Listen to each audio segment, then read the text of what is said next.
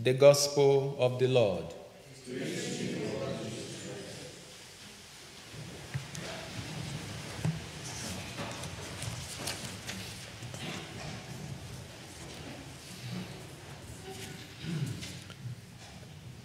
I don't know how many of us um,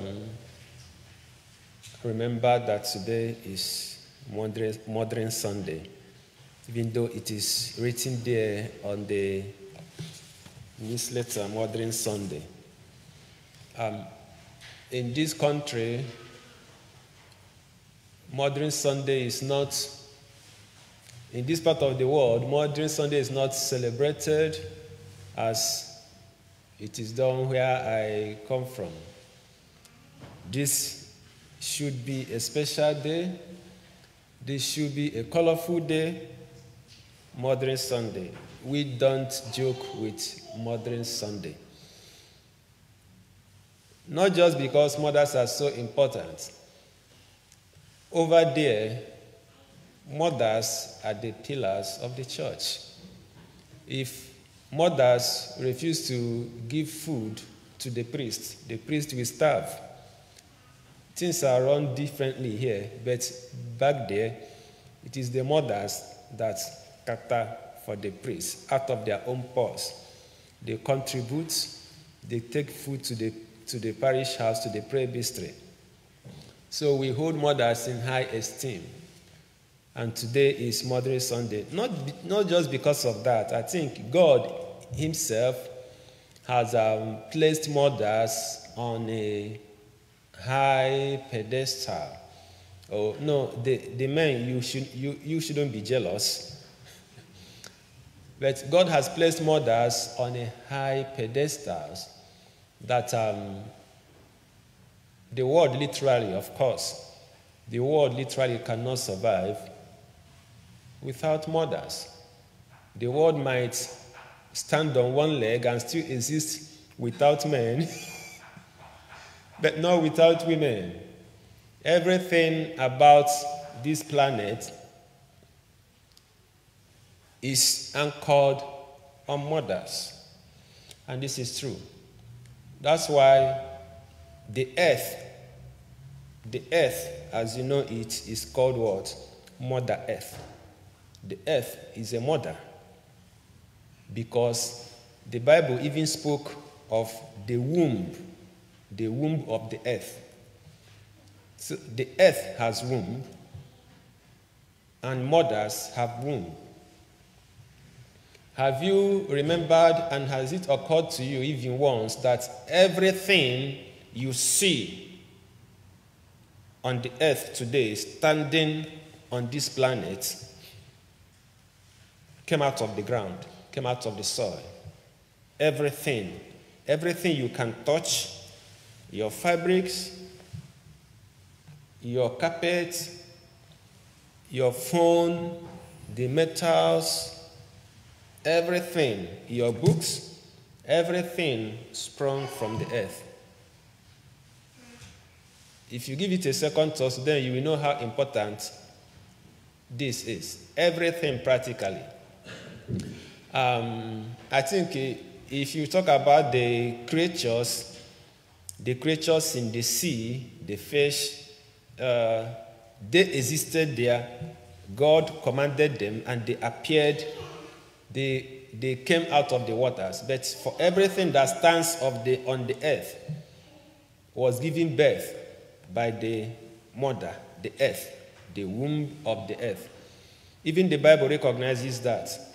In the book of Revelation, when the woman was about to give birth to her child, the child who will save the world, and the, the dragon stood before the woman in order to devour the child. When the woman eventually gave birth to the child, um, God gave the woman uh, two wings of great eagle, and the woman was to fly into safety without wing, without wing. So when the woman flew off, the dragon poured out of her mouth, the, the dragon poured out of her mouth river, a big river, so that it would drown the woman. But the Bible says that the earth came to the aid, came to the aid of the woman, that the earth opened her mouth the earth opened her mouth and swallowed the river poured out by the dragon, and the woman was kept safe. So the earth is a mother. Imagine what the world will look like if there are no women today. We wouldn't be here. I wouldn't be here if not for my mother. You wouldn't be here if not for your mother. The doctors wouldn't be there, the nurses wouldn't, would, the engineers, no, nobody would be here. We, we, this world will just shut down. If God decides to shut down the womb of every woman just for a hundred years, what do you think will happen? This place will just phase out. Phase out immediately. So mothers are wonderful because just as the earth, just as the earth gives life to every living thing, mothers also give life. Mothers have the power of life within them. Mothers got the power of life within them. I didn't think of any other thing to speak about to, today. I was struggling in my mind what, I, what was I going to speak about, but it's only mothers, power of mothers. Mothers give life. They can decide to give life and they can decide to take it. They can, a lot of children or born children do not see the light of the day because their mothers have decided you go back there. Mothers, they can do and undo. They, they can uproot and plant. They can uproot, they can plant, they can destroy, they can build. So if you are a mother here, do not underestimate yourself. God has given women, see, I have noticed by experience that God has given women such power that He didn't give to men. That is why, as a man, when I stand in my place of prayer, when I stand or kneel before God um, on my, before my prayer altar, and I'm praying I'm praying and I'm lifting up my hands, interceding for the people. God hears me. But when a mother, when a woman, hear, hear what, understand me, any man that has a womb is a mother, whether they have children or not. The prayers of women are more powerful than the prayers of men. There are certain things I struggle in the place of prayer, but I know if a woman would do the same prayers that I'm doing, it will be a walkover because mothers give life. There is a power that comes from the womb of mothers that a man cannot produce. God has given them that power to give life. To give life. That is why mothers should, mothers should pray always for their children. Especially when they, those children are still little, like the children we have in this church, our toddlers, the power of mothers is, is, can, is inexplainable. Pray for that child, put your hand on that child, speak over that child. Pray for them because mothers are wonderful. They, have, they can give life, they can take life. I know also that when women decide to be terrible, when women decide to be bad, there is no end to what they can do. I come from I come from Africa in a place where I when you talk about witchcraft, when, when you talk about evil, when you talk about voodoo, when a woman decides to do that, hmm, the power is devastating. A woman de- decides to go into evil the same way when they decide to do good, when they decide to pray, few of them can shut down a whole community just by the power of their words. I'm opening your eyes to discover what you have that you don't know that you have it. I wish I were a woman. and that's why I like to dress I like to I like to dress in this. And that's why I love to dress in this I love to dress in this because it's, it's the, we, the women that put on gowns, you know. So when, whenever I dress like this, I feel I'm a woman. so I lift up my hands and I pray. this is true. So God has given you blessing. I teach young mothers before you conceive, pray for the child you are about to conceive. When you conceive and it is certified that you are pregnant, speak to that child. Pray for that child. Encourage that child in the womb. They listen. They listen. They hear what you say. They understand what you say. Pray for your child in the womb. Even while your child is still in the womb, dedicate that child to the Lord. Say, Lord, I give you this child. This is powerful. I give you this child. I have taken my time to study the lives of great men, whether they are pastors, whether they are preachmen, whether they are great men in history. They were people who maybe before their mother conceived them, they spoke to God about them.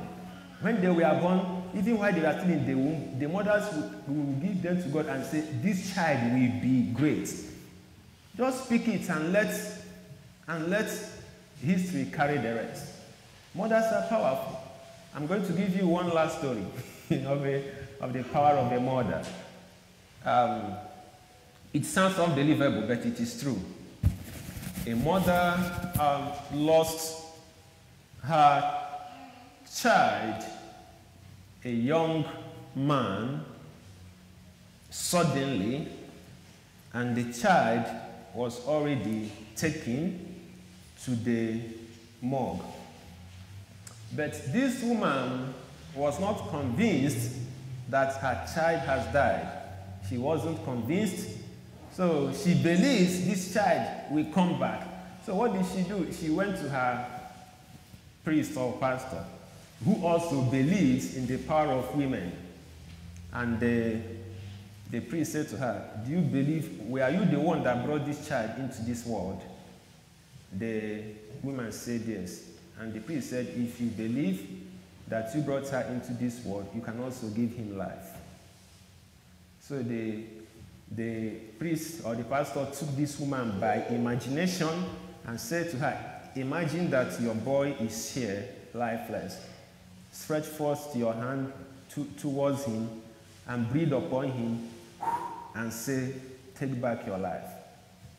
It sounds stupid, but she did that. The moment she did that and breathed upon that child, the boy stood up, came back to life. That's the power women could wield when they decide to do something positive. The same way, women can take back the life of anybody. Don't try this at home. Don't try this at home. But I'm telling you, women are powerful. Mothers are great. Mothers are wonderful. So, mothers in this church, we celebrate you. We celebrate you. We celebrate you. If not for any other thing, the pain a mother endures during childbirth, unimaginable pains, they endure that and they still come out and they are strong. They are kicking. What kind of man can undergo that pain and not die instantly out of pain? May God bless our mothers. May God bless our mothers and keep our mothers. It is my prayer that mothers will live long, good health, enjoy the fruit of their labors. Even to the extent that before God could save this world, he had to go to a woman and seek for permission. He sent an angel to Mary, a woman, please, I want to save the world. Help me. Will, will you take my son Jesus into your womb? And Mary hesitated. Heaven was shivering. The whole heaven was nervous. What if she says no? What if she says no? What if she says no? But when she said, Behold, I am the handmaid of the Lord, be it done to me according to your words. God gave a deep sigh of re- relief in heaven. God waited for an earthly woman. May God bless all mothers, and may this week be a joyful one for you. May God take away pains, sicknesses from our mothers, and may they live to enjoy the blessings of God in their lives. Today, that I'm talking about mothers, I'm not